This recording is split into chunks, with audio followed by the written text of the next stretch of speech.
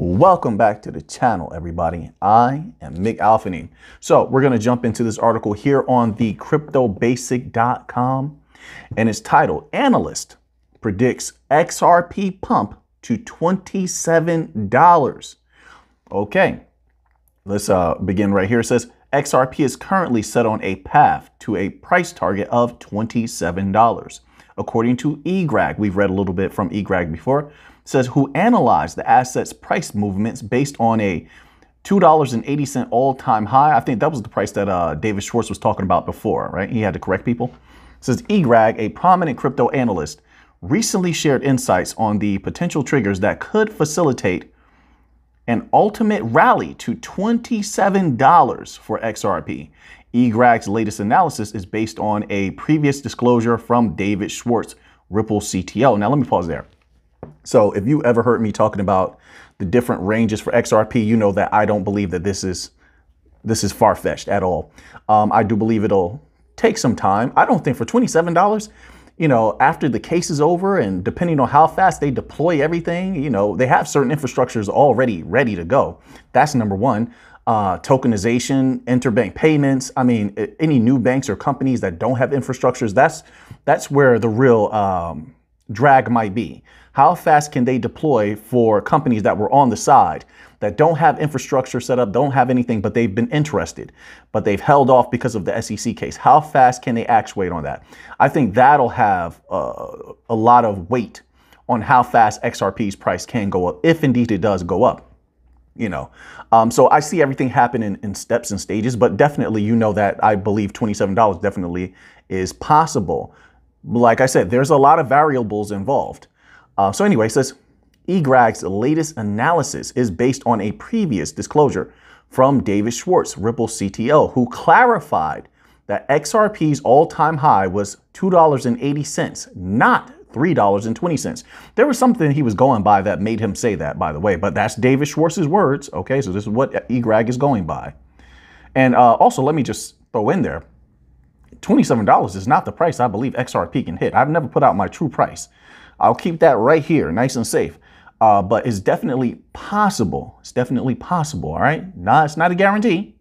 So since Schwartz noted that the all-time high value is $2.80, eGrag used this price as a reference point, plotting the Fibonacci 1.0 level on a monthly candle chart. The Fibonacci levels are set uh, are a set of ratios. We know it. we know what Fibonacci is, but let's continue on here.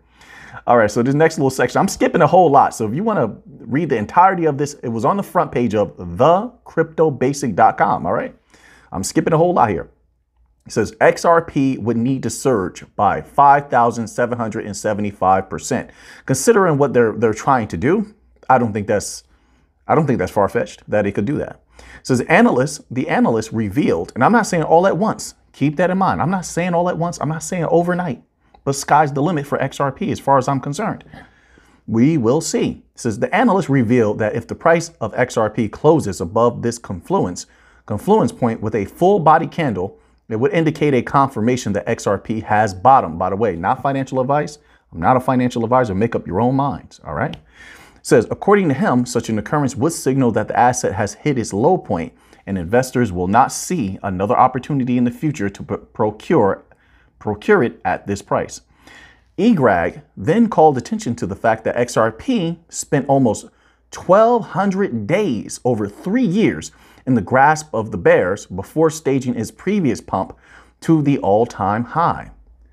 It says, however, he emphasized that in the current cycle, XRP has spent nearly 2,000 days anticipating for the mega pump.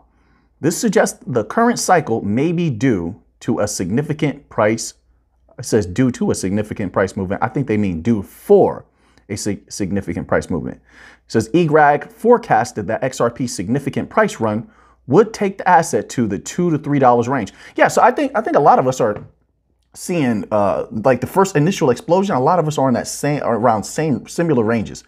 I personally think three to five dollars, three to three, but we can get two to three dollars first you know, then we're looking good anyway. In my humble opinion, you get the one dollar looking good. Actually, you want and later you're sitting on a ton of XRP, but uh, I, am thinking three to five. I think it's going to blow past two dollars. I really do. It's it's it's going to take a little bit of time. You give it a couple of weeks. Uh, it depends. It depends on catalyst. I'm trying to remain as reasonable as possible.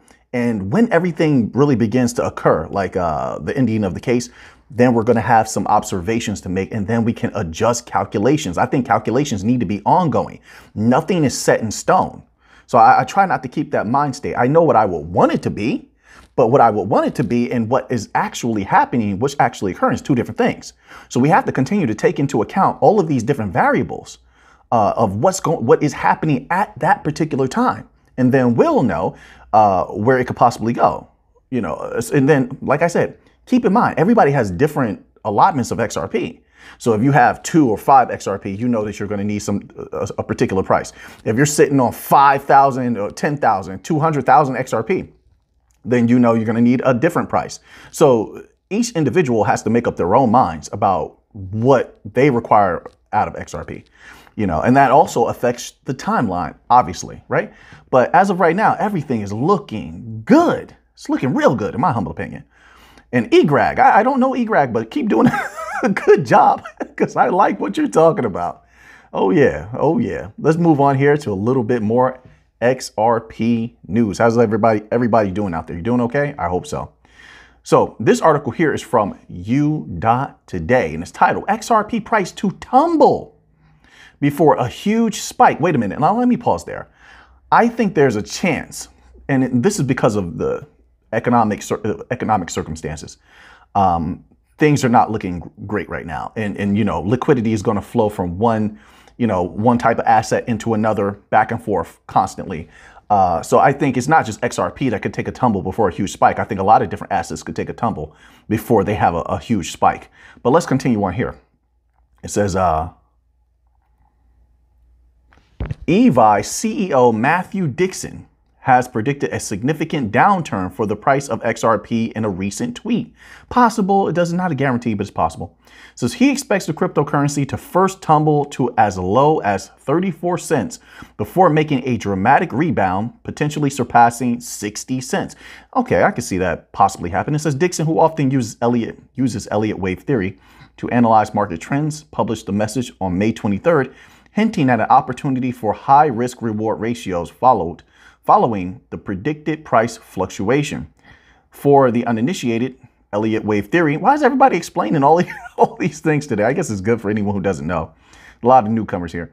It says uh, Elliott wave theory, originally developed by Ralph Nelson Elliott in the 1930s, is a method used by traders to analyze market cycles and forecast future price trends. I just went and read it anyway. Why not? Just in case anyone doesn't know what that is. It says here Dixon's tweet referred to this structure, implying that the X wave, uh, the last impulse wave of XRP would be a minor upward move followed by a Y curve, a corrective wave to the downside. However, the token is expected to rally after that. Um, this is expected to rally at any time. Everything's in the judge's hands. And everything has been looking extremely positive, especially when you watched the last video about those emails um, and SEC sort of getting exposed. I think we're going to see, I think it's possible we may see more of that, right? Uh, so, uh, you know, we'll continue to try to stay up to date on those types of things. But as of right now, we continue to move forward in strength. Now, let's go to another article here.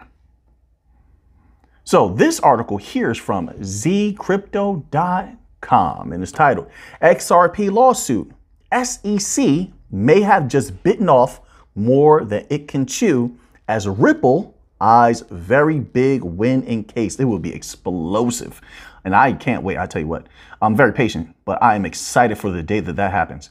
So, prominent speechwriter and Forbes contributor Sam Lyman believes the U.S. Securities and Exchange Commission may have underestimated the challenges it would face in its legal battle against Ripple. I agree with that. I, I, I firmly believe that they, in their own minds, uh, had the solidified thought that everyone was going to roll over.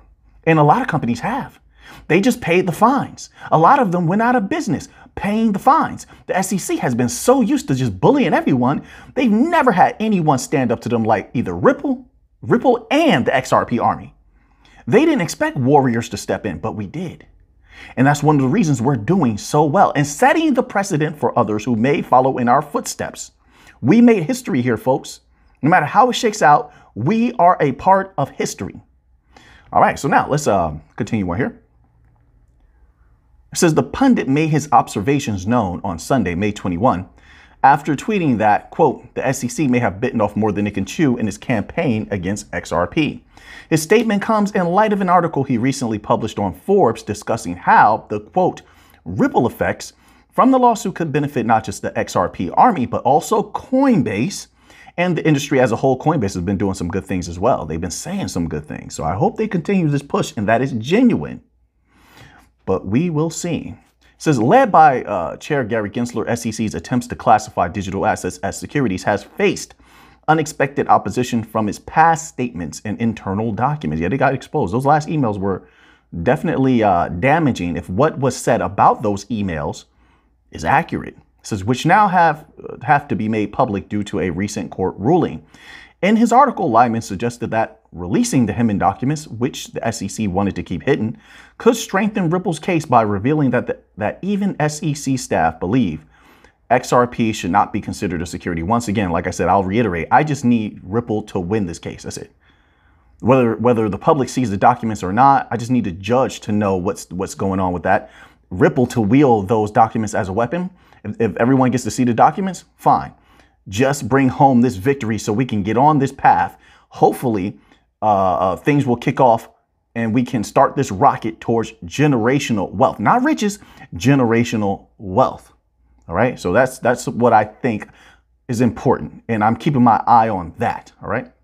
Try not to lose focus. It says, quote, the documents are likely to reveal dissenting opinions within the agency's own ranks as to which cryptocurrencies are securities and why. And by doing so, they are likely to bolster Ripple's case, quote unquote, wrote Lyman. The pundit further noted that if the Hinman documents provide more evidence of internal communications contradicting the SEC's current position on digital asset regulation, it could create significant obstacles for the agency's case and reputation. Additionally, and we'll stop right here after this sentence, okay? It would bolster Ripple's argument that the absence of regulatory clarity hindered their understanding of legal boundaries in the industry. Boom there you have it. All right. So they have a lot more here. Once again, this article is on zycrypto.com. Make sure you check them out. They wrote a lot of good articles today. Them, U dot today. Uh, what was this other article from? The Crypto Basic. These these websites are doing a great job, in my humble opinion. So show them some love. All right. So now we're gonna go to another article from U dot today. A lot of news coming out today, coming out here today. This article is titled "Ripple Lawsuit." I'm sorry, this this headline is making me laugh. SEC has never been weaker. I know, but that's just fun. I just find that funny. They have never been weaker. this is coming from the Sologenic co-founder, okay? All right. Sologenic co-founder is getting tough with the SEC. Says as the resolution of the Ripple SEC lawsuit nears, Sologenic co-founder Bob Ross, woo, Got a tough name too, Ross. don't mess with don't mess with Bob. Says uh, has taken to Twitter to share his take on the SEC's approach to crypto regulation. Oh, he got a tough picture too. He got the folded off. Oh, Bob is Bob is about business. Don't mess with Bob.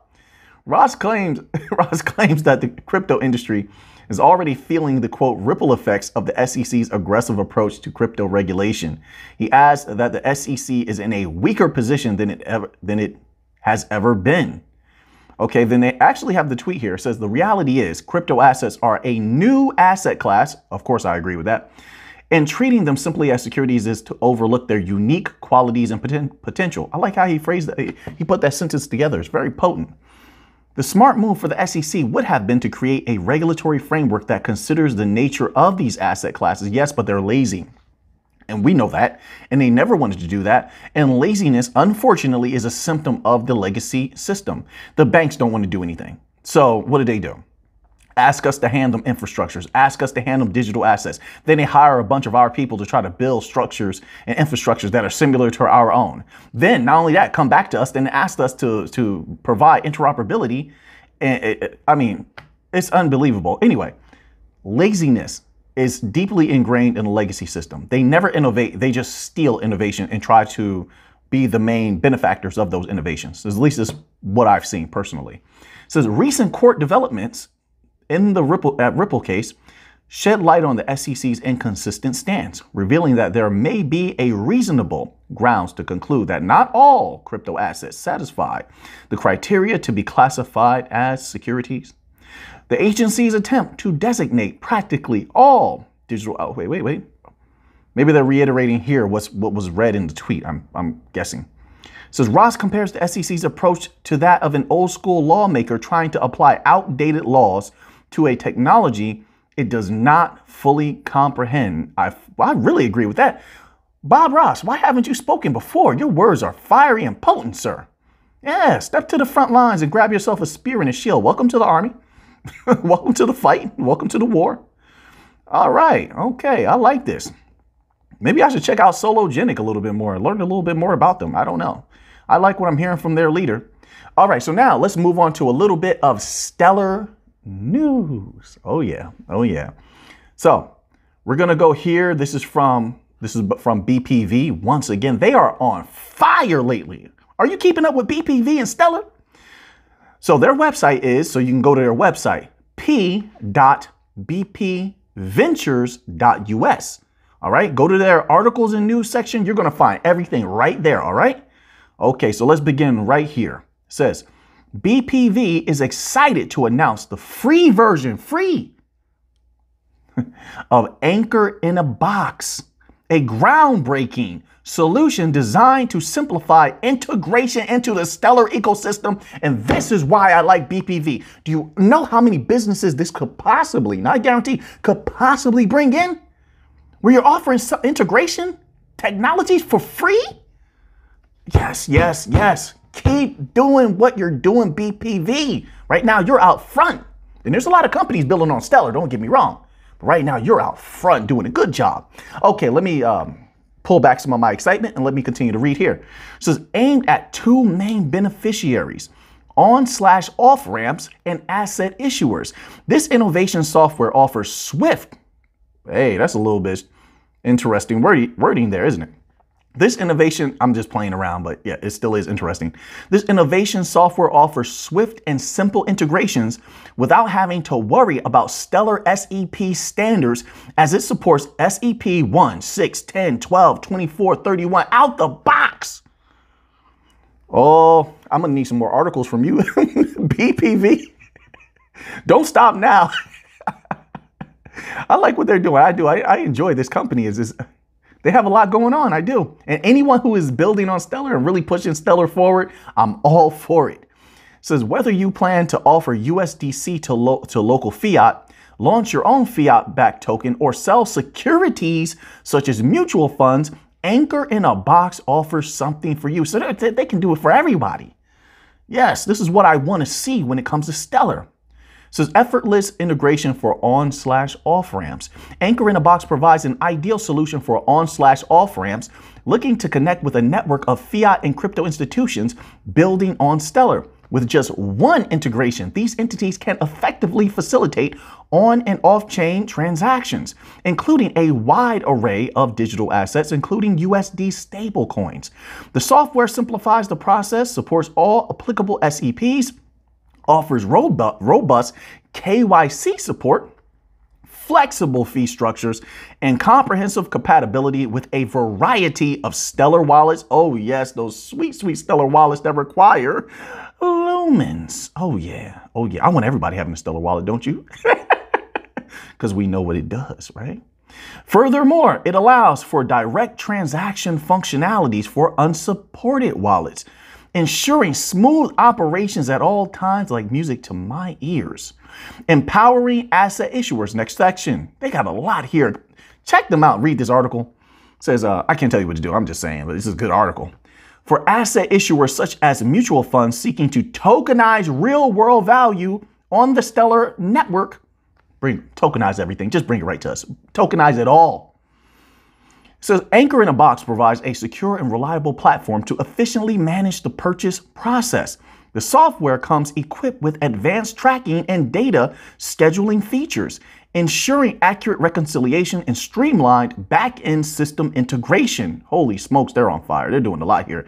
The gateway to Stellar Network Integration, BPV's free version of Anchor in a Box, serves as a powerful gateway. Okay, so then they reiterate that there.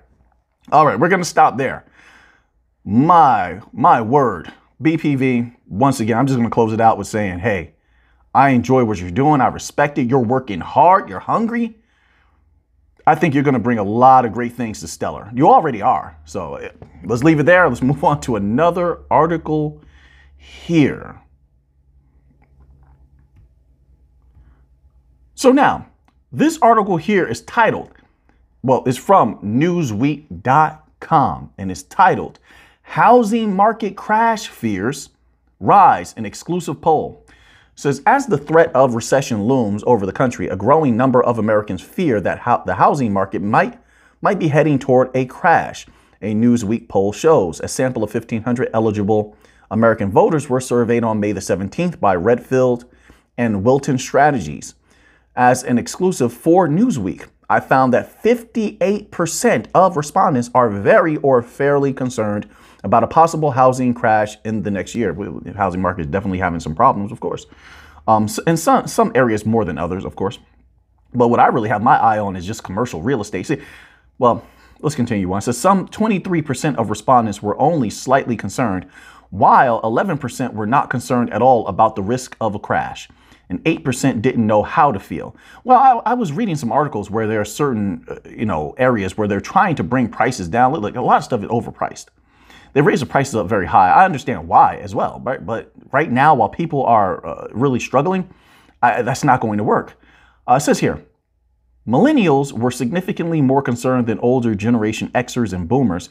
Just over a third, 34% of respondents aged between 25 and 34 years old, were concerned about a possible housing crash. Only 20% of those aged 55 and 64 were very concerned, and 27% of those aged over 65. The same percentage of respondents aged between 18 and 24 and between 35 and 44, 33% were very concerned about the risk of a housing crash.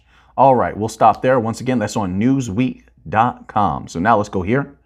So, a little bit more home news, housing news. All right, this is from wolfstreet.com and it's titled Home Sales Plunge. Supply rises, prices drop. That's what I was talking about. So they're trying to like look. The industry is trying to trying to balance itself out. We just continue to observe, you know, uh, and, and and make appropriate movements. That's how I feel about that. Uh, I don't listen. I don't like to exist in fear or panic, but I do like to observe and remain remain balanced. And if we have to take precautionary measures, then we definitely will do that. It says, okay, it's spring selling season. The famously best times times of the year to sell a home because that's when prices rise and sales rise due to hot demand from home buyers who were hiding out in the winter. But this year, the median price of all types of previously owned houses, condos, and co ops whose sales closed in April fell year over year by 1.7% to $388,800. The third month in a row of year over year declines, according to National Association of Realtors a debacle we haven't seen since February of 2012 when the market emerged from housing bust one. From the peak last, uh, from the peak last June, the median price declined by 6%. For single family homes, the median price fell 2.1% year over year, the third year over year decline in a row to 393,300. Uh, for condos, the median price still ticked up 0.7% year over year to $348,000. Says, but it's still spring selling season when prices always rise from one month to the next. Even during House Bust 1, the median price often rose month to month during spring selling season, uh, and sometimes by quite a bit. And the median price in April was up from March. Okay, let me stop there. Like I said, there's so many variables to take into account. You got to take into account, like I said, people are struggling a bit from top to bottom, by the way. Top to bottom, people are struggling uh, right now. They're going to be a little bit tighter with their capital, with their funds. they're going to be a little bit more um, discerning about their investments also. So here we have uh, an article. It's from the dailyhodl.com. We have to keep up with the dollar, what's going on with it, with de-dollarization. Um, you know, sometimes we keep up with the strength of the dollar as of the last week. For, as far as what I've seen, the dollar has been a little bit stronger. And then you see as the dollar got stronger, you see everything else got pushed down a little bit. Then when the dollar weakens just a tad bit, then everything goes up. You know, this typical pattern here. Uh, but anyway, so this article is from the dailyhodl.com and it's titled Russia and Islamic World Discuss De-Dollarization, Creation of Independent Financial System. All right, let's see what's going on. Russia, and uh, okay, they reiterate what we just read. Russia's deputy prime minister, Alexei Overchuk, says that says the talks are part of an overall look at quote current global shifts. Reports the Russian state-funded news organization TASS. Says Overchuk says the agenda is focused on de-dollarization, financial independence, industrial production, energy, and food security. Quote, of course, our relations with, uh, with Islamic countries are influenced by global shifts that are taking place in global trends. We're talking about processes of de dollarization and the creation of an independent financial system. That BRICS currency. I was reading about another country, I can't remember where, it's in South America. They're going to be dealing primarily in yuan for trades. So, I mean, the shirking and dumping of the dollar continues which is something I'm going to pay attention to. We'll see how it shakes out. Maybe, maybe not much happens. Maybe it's very impactful and diminishes the value of the dollar. Uh, if we do not research, we will not know. But I'll tell you one thing, I don't want to be blindsided if this is going to be a negative towards the value of the dollar. I think it definitely could be, but I'm going to remain balanced until uh, we get a little bit more information. It says here, Russia has expanded its financial ties to, to Iran after facing a wave of international sanctions due to you know, redacted. Russia's second biggest bank, VTB, just opened a representative office in Iran, uh, reports Forbes. Meanwhile, two uh, uh, Iranian banks are preparing to open physical locations in Russia. So it's just a, it's, it's just BRICS nation activity where they're strengthening their, their relationships. Um, so, like I said, my big focal focus point when it comes to BRICS nations is just, just that common currency that they're trying to cook up to replace the dollar as the world reserve currency. That's the significant catalyst there. Um, once we get a little bit more information on that, we'll know a lot more. We'll be able to make a lot more calculations, uh, you know, and uh, uh be able to have a more clear path pathway of where everything is going. All right, so now let's move on here. So this article here is from investing.com and it's titled Silver dropped as the dollar traded higher. Like I was saying before, dollar got strong. All right. When the dollar gets strong, typically other things come down. Silver yesterday settled down by minus 0.8% as the dollar rose as, a, as risk aversion prevailed due to growing worries about the state of regional U.S. banks. Everybody's to, continuing to worry about these banks. Then you have some banks. It's mind blowing to me that the trust in the banks is at an all-time low, and yet the banks are freezing people's accounts again? Holy smokes, they don't do themselves any favor. I mean, how much bad press do you do you need? I guess it's just arrogance, I suppose. Oh well, that's on them. It says the state of regional bank, U.S. banks and anxiety about the possibility of an unprecedented U.S. unprecedented U.S. default. Well, like, like I said, they come down to the last hour before. I think they will again for them to default, I, I mean, is it possible? Sure. It's definitely possible. If that does happen, people are in for a hurt, hurting. You know, people are in for a hurting. I'll, I'll just leave it at that. Hopefully that doesn't happen because the people on the ground have suffered enough. But we'll see what happens. It says the chairman of the U.S. Federal Reserve, Jerome Powell, made remarks that suggested the Fed would hold interest rates constant at its next meeting in June. They're flip floppy once, as usual, back and forth.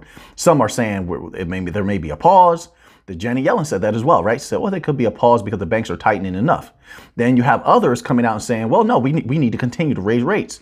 So it's just flip floppy. We'll, we won't know anything solid until the actual decision is made, right? Announced. So Powell stated at a research conference, conference at his bank that, quote, the risk of doing too much or doing too little are becoming more balanced. and our policy adjusted to reflect that, unquote. Powell continued, quote, we haven't made any decisions about the extent to which additional policy firming will be appropriate, unquote. Even if the unemployment rate starts to climb later in the in the year, the US Federal Reserve must continue to be super strong. Oh, there we go. All right. So I see why people believe that there's going to be another increase. And, you know, I said all along, they should have been higher uh, and they should have done it earlier. Rip the band aid off. That, that's how I feel. Get it over with. It's going to happen anyway. I mean, all the negatives are going to come. You have to crush the economy because you inflated it. It's just, uh, uh, it's a necessary thing. It says, but Bostic warned that if it starts to increase, public pressure on the institution will be, quote, enormous. Sales of, I've never stopped them before.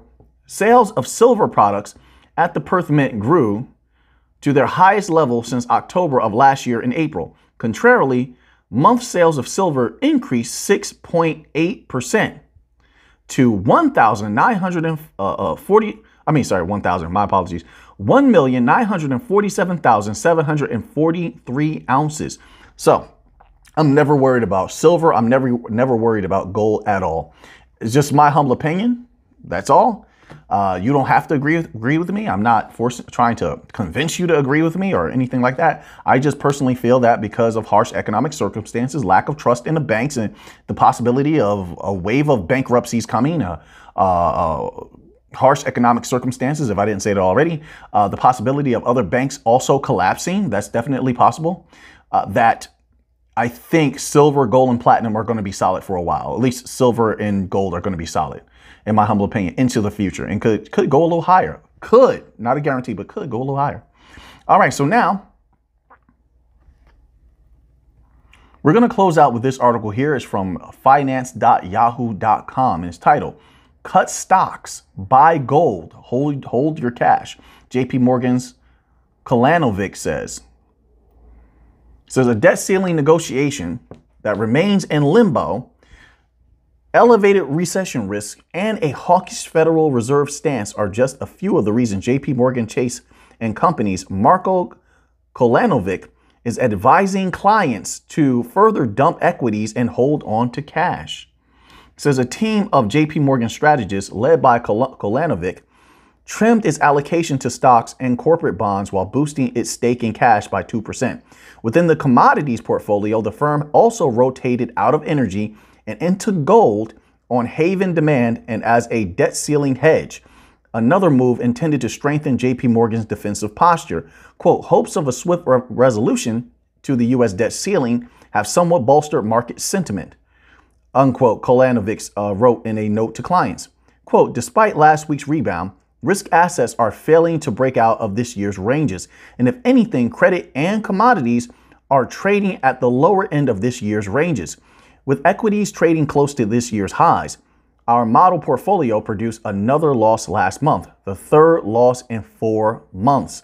U.S. stocks treaded water Tuesday as investors awaited answers from Washington on what the federal government will do to avert a catastrophic default.